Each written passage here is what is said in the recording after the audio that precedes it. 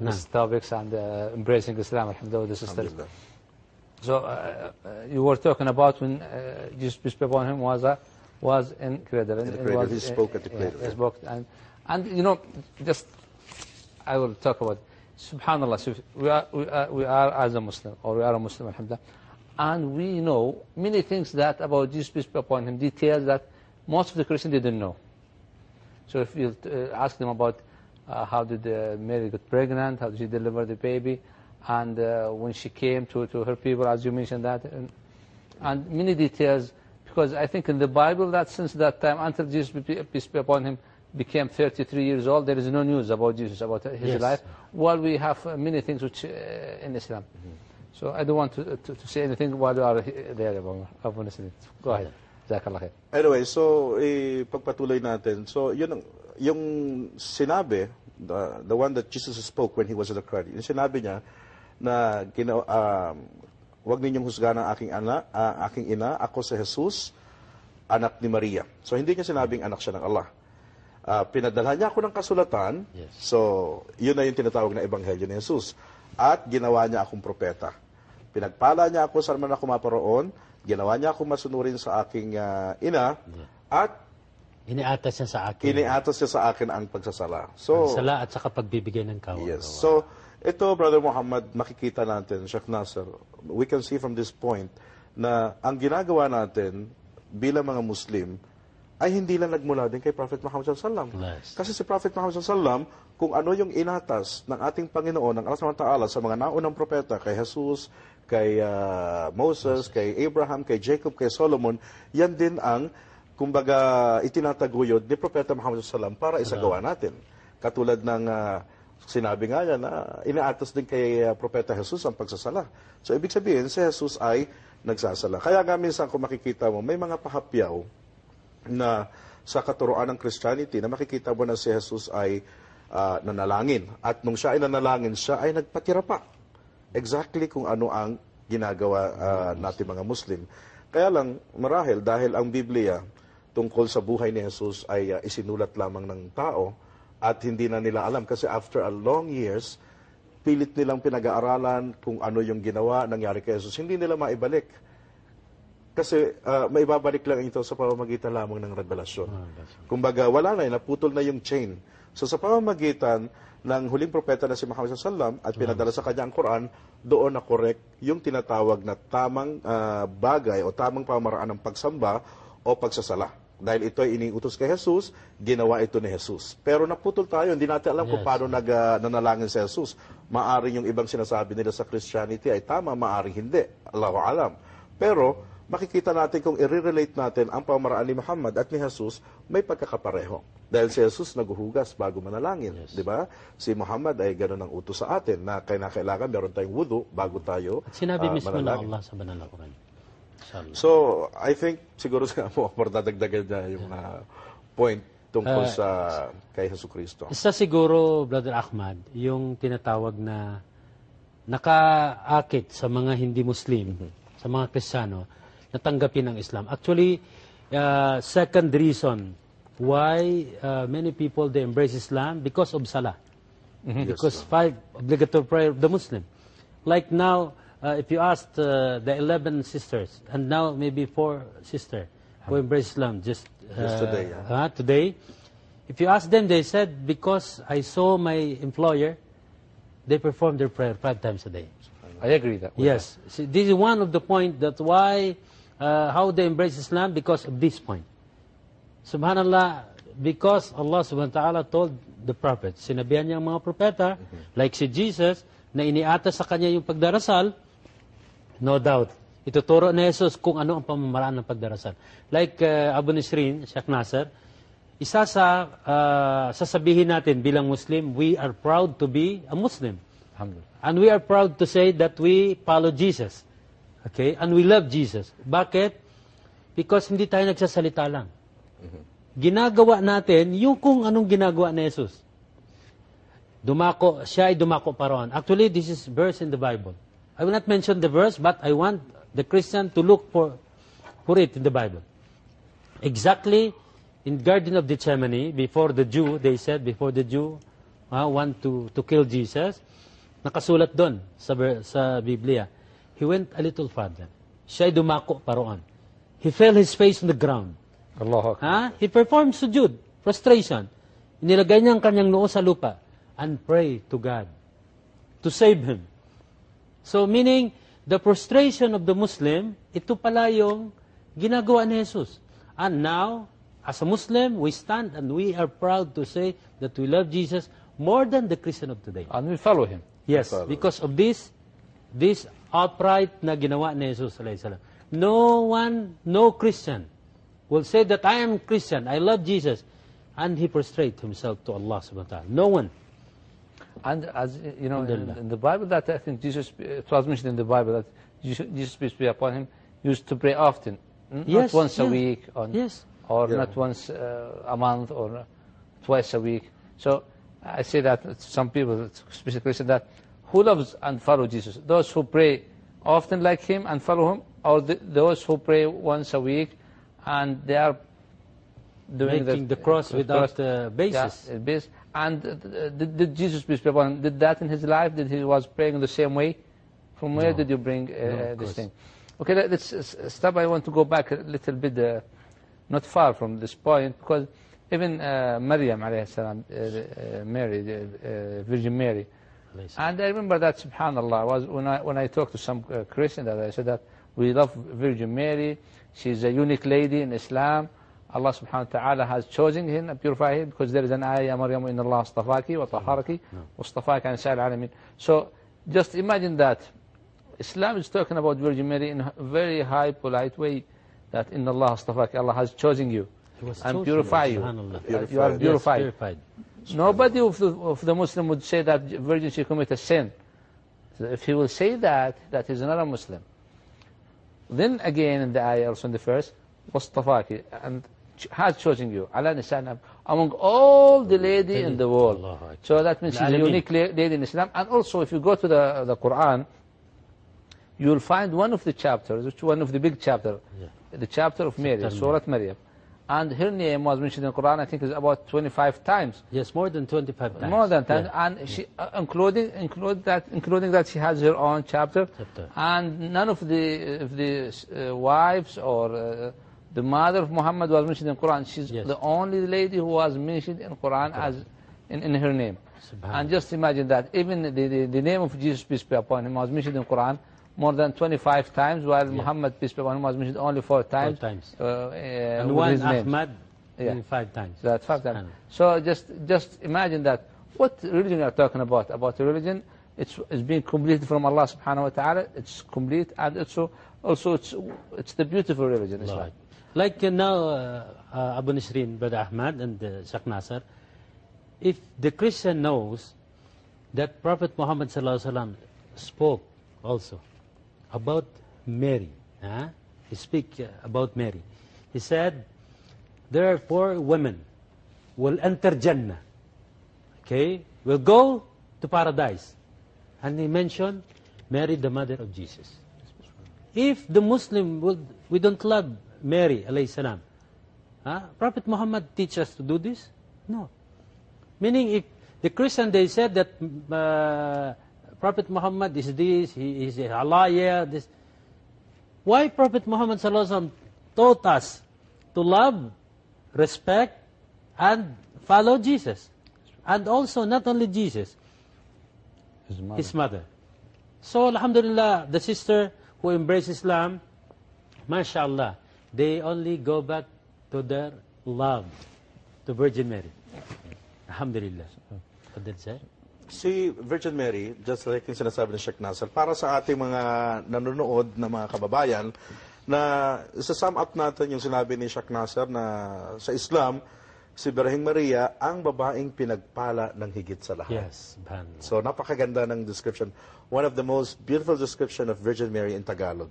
Siya ang babaeng pinagpala ng higit sa lahat.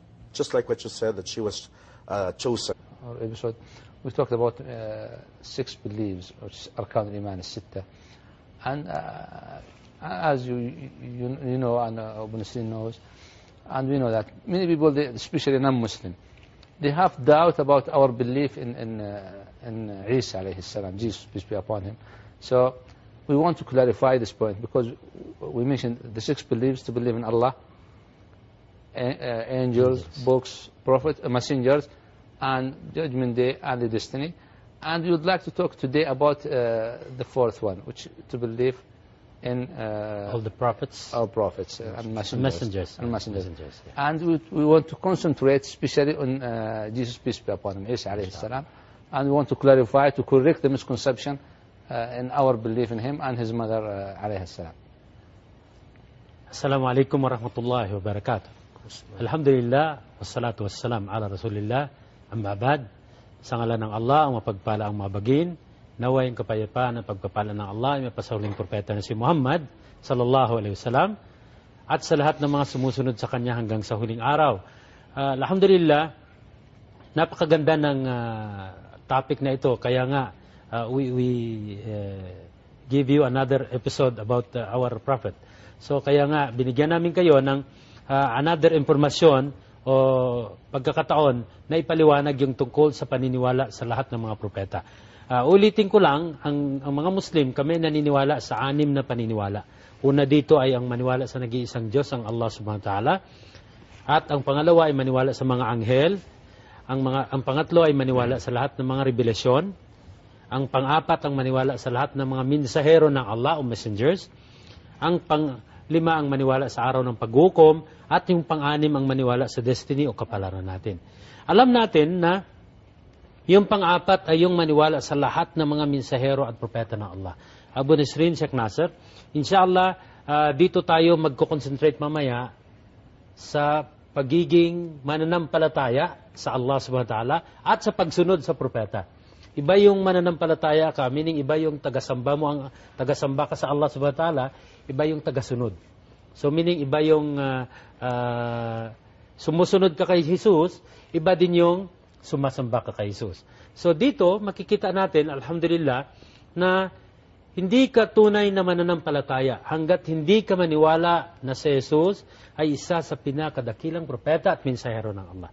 At alam natin, alhamdulillah, na ang lahat ng ito ng impormasyon na nakukuha namin bilang mga Muslim, na ipinapaliwanag namin sa mga hindi Muslim, ang nagturo sa amin ay si Propeta Muhammad sallallahu alaihi wasallam.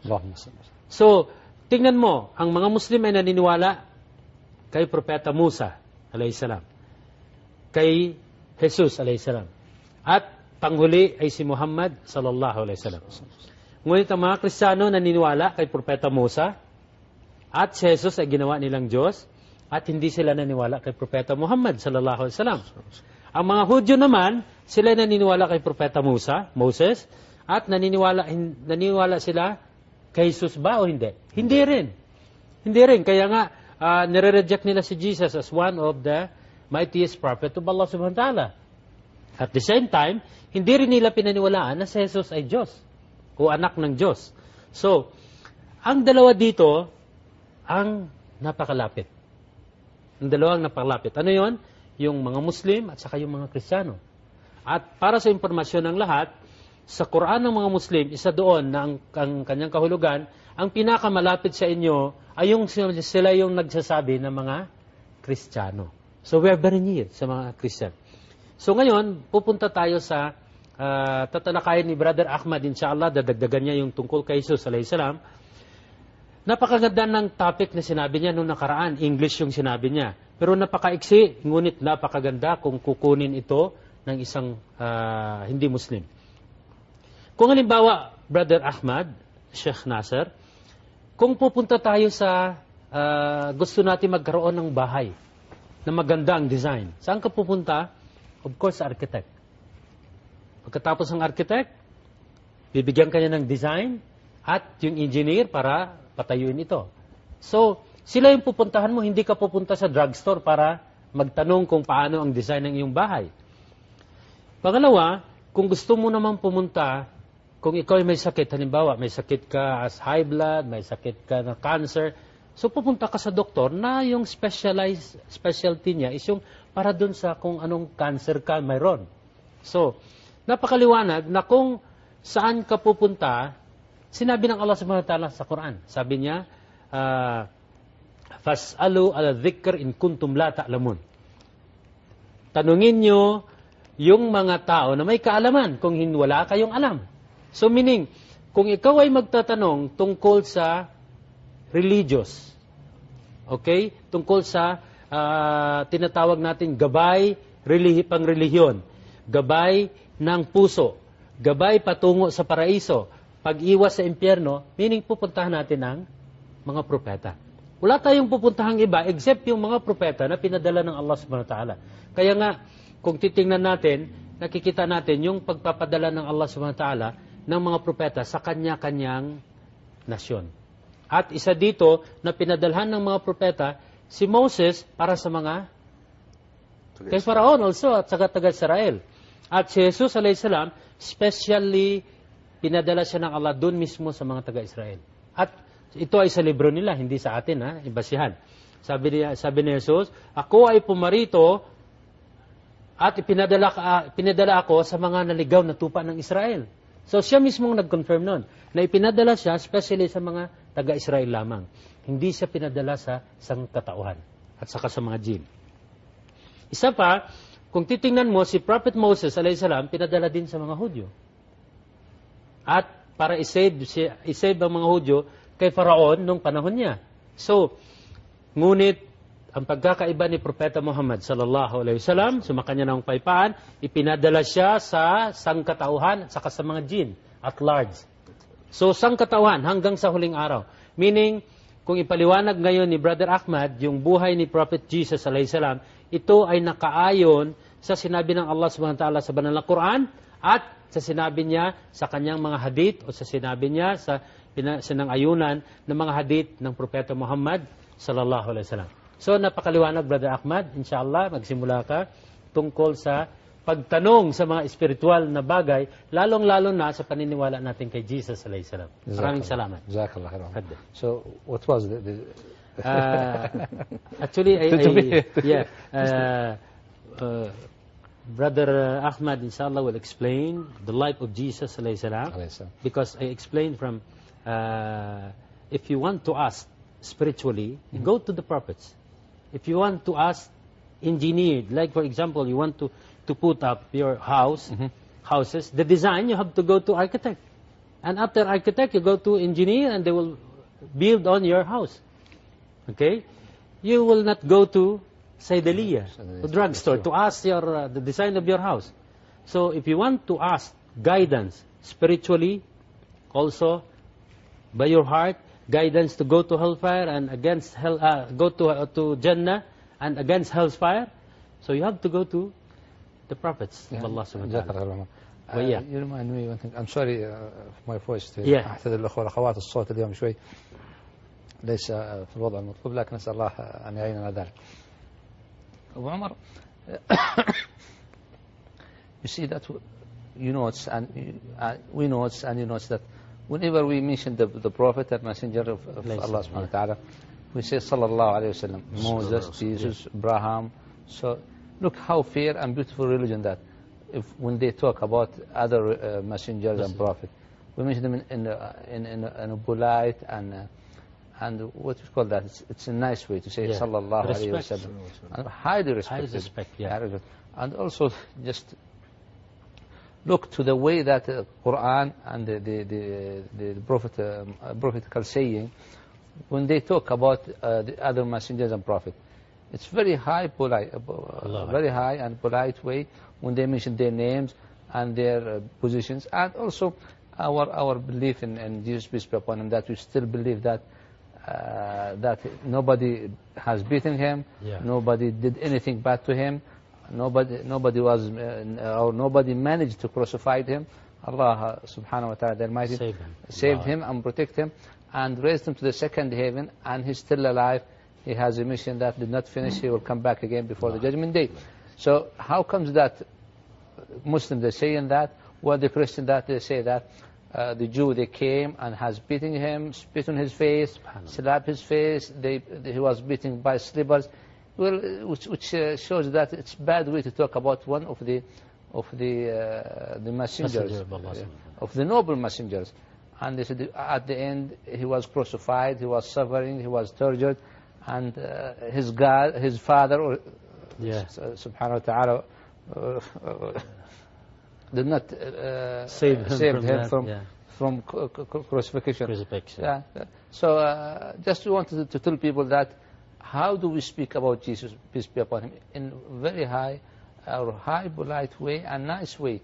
And we love him, respect him, we follow him, and we believe that he will come and inshallah that will be before the judgment day. So I will go to Abu Nistin to talk about uh, the life of Jesus. Deba? Yes. Okay. Yeah. Jazakallah khair. Abu Nisrin sandali. Like uh, the point that uh, Sheikh Nasser uh, gave us. Respect. If Islam teach us to respect the cat, the cat, the cat sleeping, we cannot kick him. Said, go, go. This is one of the respect. How about the Prophet of Allah subhanahu wa ta'ala? We have to respect them in the, the pedestal that Allah subhanahu wa ta'ala give them. But, but, you have to respect them, but don't worship them. Yeah. And this is the beauty of Islam. The beauty of Islam is you have to respect them to the extreme, but don't worship them because they are And it's human. just religion also. Islam. Yes. So I'll go to, uh, uh, Alhamdulillah. So, Abu Nistin, so you'll go with the, the uh, life of Jesus, peace be upon him. Inshallah. So, Bismillah ar-Rahman ar-Rahim. Alhamdulillahi Rabbil Alameen. Wassalamu ala Sayyidina Ashrafil Anbiya wal Mursalin Nabina Muhammad wa ala alihi wa sahbihi ajma'in wa ba'd. So, Alhamdulillah, magandang gabi o araw sa inyo sa mga nanonood ngayon, especially mga Pilipino Saka sa Pilipinas. sa Pilipinas o sa amang parte ng mundo. Actually, uh, maraming mga kababayan natin, Brother uh, Muhammad, Sheikh Nasser, we have lots of Filipinos, kabayans, watching us, and uh, especially the one working in a household. Yung mga nagtatrabaho sa bahay, katulad ng isang tumanggap lang sa Islam, alam namin na marami pa kayo diyang nanonood at marami kayong inaabangan dito sa amin Yeah. na maaari naming maibahagi sa inyo. At inshallah, kapulutan ninyo ito at tanggapin ninyo at isabuhay ninyo. So, ang binigay sa aking uh, inato sa akin na Sheikh Nasser na ipaliwanag sa inyo ay ang tungkol sa buhay ni Yesu Kristo. Of course, yung kanilang sinasabi ni Sheikh Nasser na whenever we mention the name of the prophet, pag binabanggit natin ang pangalan ng propeta, we give high respect, we give high regards, at sinasabi natin, sallallahu alaihi wasallam, nang ibig sabihin, may Allah render him free from any defect and imperfection. So kasama dito, Brother Muhammad, pag binabanggit yun, yung yung tinatawag ba na panalangin. Because minamahal natin ang mga propeta, inaakibat natin sa pagbanggit ng pangalan nila, ah, yung panalangin na ilayo nawa ng Allah ang mga kamalian tungkol sa kanila. Kasi alam naman natin na ang mga propeta, merong mga kwento o mga imbento na pangyayari tungkol sa buhay ng mga propeta. Halimbawa, sabihin natin na may propeta na nakipagtalik sa sarili niyang anak, di ba? Yad billah. I mean, hindi to karakter ng isang ah, propeta. Propeta. At sasabihin nila na merong isang, uh, alimbawa, ah, si Heso Kristo, na siya ay namatay, na ipako sa krus. Ah, kung tutuusin, kung ikaw ay isang Muslim, bakit hindi mo ito matanggap? Kasi if you think na siya ay propeta, Binababa siya eh. of course, at Yes, saka paniniwala mo, kung siya ay isang propeta, nakaalalay sa kanya lagi ang Panginoon. Di ba? Yes. Siya, sinugo siya ng Panginoon, of course, tutulungan siya ng Panginoon. siya. 'Di ba? Although binibigyan tayo ng pagsubok ng ah, Panginoon, pero ang pagsubok na yan laging may nakaalalay na kumbaga magandang darating sa atin. Kaya nga sa banal na Quran, I cannot forget this ayah from uh, Quran. Fa I will inna stop ma'al with the usri ayah. yusra, And- inama al usri yusra. Na ibig sabihin, sa likod ng mga pagsubok na binibigay ng Allah, in every challenges that Allah subhanahu wa ta'ala is giving to us, behind it is always a good thing, a light. Fast to Abu Nistin again. Yes. Not to interrupt him. Please. So, inshallah, sa Jazakallah khair. Ah, ah, katulad ng nabanggit ko kanina, na sa lahat ng mga pagsubok na ibinibigay ng ating Panginoon, dahil siya rin nagbibigay ng pagsubok, Allah is the one giving us the trials, the challenge.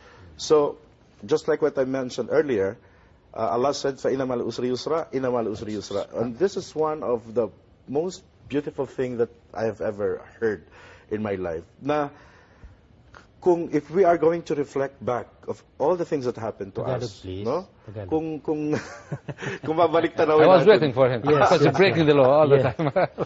kung babalik tanawin natin mga kapatid, mga kababayan, ang buhay natin, yung mga nakalipas, of course, hindi natin ma, wa- hindi mawawala na maalala mo yung mga paghihirap na dinaanan natin. Pero kung iisipin mo mabuti, sa lahat ng mga paghihirap na yan, laging merong nakaalalay na tulong ang ating Panginoon, ang Allah SWT. Minsan hindi mo aakalain, merong isang tao na tumulong sa'yo. Hindi naman kayo close. Kakilala. Minsan nga, kaaway mo pa, di ba? Yung pa ang tumulong sa'yo. Minsan naman, kung sino yung hindi mo ina-expect, yun naman ang, di ba, yung ina-expect mo palang tumulong sa'yo, yun naman ang hindi tumulong sa'yo. So, ibig sabihin, ah, lahat ng bagay nagmula sa Allah, lahat ng bagay nanggaling sa Allah, sino man ang tumulong sa'yo, sino man ang hindi tumulong sa'yo, lahat yan ay galing sa Allah SWT. Lahat ng nangyayari sa atin. Ngayon, dito kay Yesu Kristo, of course, pinadala siya ng Allah SWT bilang isang ah, gabay para sundin natin, para tularan, kung anong buhay meron si Jesus. Kaya nga, ang mga Kristiyano, di ba, sinasabi Yes. nila, si. Jesus ang the way, ang the truth, and the And the life. life. We have a caller? Yes. Do we have? You start to read my face. Okay. Hi. Ah, Maghrib prayer. Maraming salamat. Okay, so patuloy tayo dun sa tungkol kay Yeso Kristo. Um, isang bagay, kasi ang iba, iniisip nila na ang mga Muslim ay antikristo. They think that Muslims are antichrist. Pero isang bagay na kapag nakita nila ang tunay na nangyari kay Heso Kristo, dito nila mapagtatanto na ang tunay na nagmamahal at sumusunod kay Heso Kristo ay ang mga Muslim. At yan ay ah, katotohanan, mga kababayan na nanonood, na mga Kristiyano. Kami, ako, si Abu Omar, kami ay mga dating Kristiyano, na isa ito sa pinakamalaking impact sa aming isipan at sa aming puso kung bakit namin tinanggap ang Islam dahil isang bagay na minamahal namin si Jesus ng sobra sa puso namin. Pero, alhamdulillah, dahil sa Islam, ah, itinuturo kung papaano ang ah, tamang degree o tamang antas ng pagmamahal na maibibigay mo sa Kanya, sa propeta.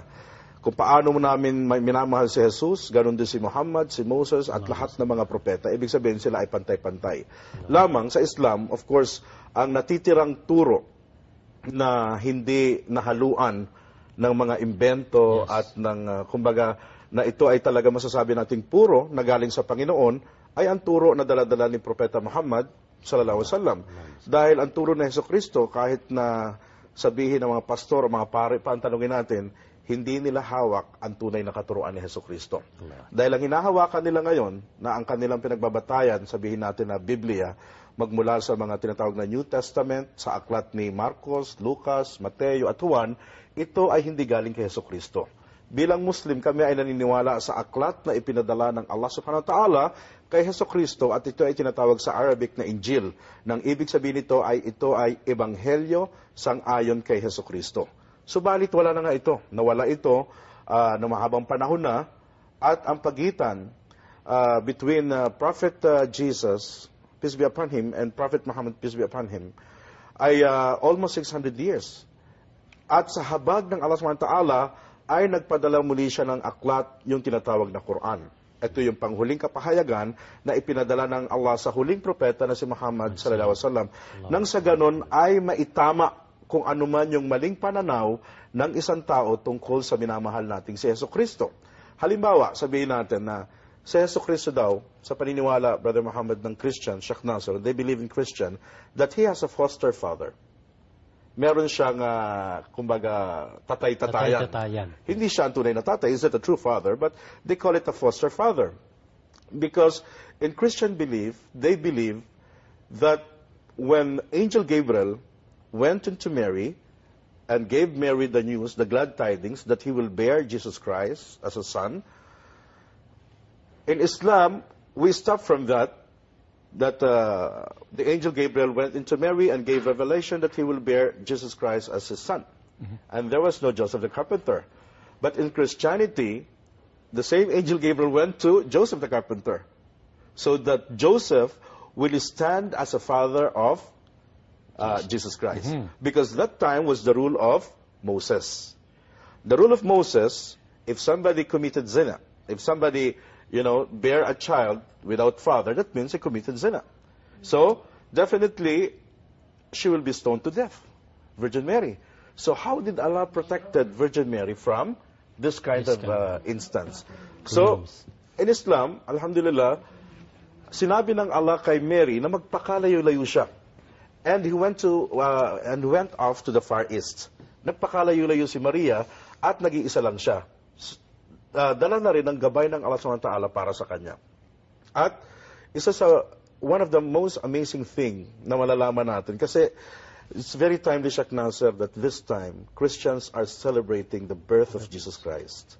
It was just few days ago and now they will celebrate the New Year. Pero they celebrate the Christmas and yet they don't know exactly what had happened to Jesus Christ. Alhamdulillah, we are Muslims and we believe in Quran and Allah subhanahu wa ta'ala brought the Quran to Prophet Muhammad and taught us what is the real thing that happened to uh, Jesus. Christ. So, nandito mga kababayan, ang tunay na nangyari. Kasi ang problema sa ating mga Pilipino, masyado tayo nagiging sentimental, nagiging emotional, and yet hindi naman natin alam ano ba ang diwa ng? Pasko. Ang diwa ng Pasko, alamin natin ano ba talaga nangyari kay Heso Kristo. So ito ang katotohanan sa nangyari kay Kristo. Na ah, si Heso Kristo, Unang-una, hindi siya pinanganak ng December 25, katulad ng binang, na, nabanggit natin nung nakaraan, di ba? Hindi siya pinanganak ng December 25 at ipinanganak siya ni Maria, nag-iisa lang siya. Si Maria ay walang kasamang lalaki na Joseph the Carpenter.